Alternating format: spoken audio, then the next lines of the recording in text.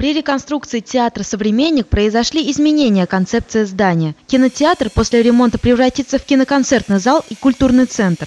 Глава региона Сергей Морозов осмотрел ход ремонтных работ. Начались э, работы по прокладке инженерных сетей. То есть это сети вентиляции, э, теплоснабжения. Э, также параллельно ведутся работы по отделке по словам главы администрации города Ульяновск Алексея Гаева, ремонтные работы обойдутся примерно в 100 миллионов рублей. Отдельные средства из федерального бюджета будут привлечены на покупку оборудования. По проекту новый Дом культуры будет оснащен современным киноконцертным оборудованием. Универсальный зал будет рассчитан на 650 мест, причем 35 из них будут приспособлены для граждан с ограниченными физическими возможностями.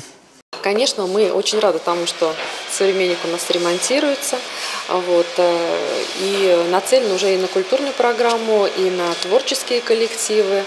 Вот, и уже у нас есть понимание, что здесь в конечном итоге будет. Сдача объекта запланирована на конец этого года. Кстати, по проекту за Домом культуры разобьют парк, посвященный трудовой славе. Ближайшие к современнику Сталинки будут снесены.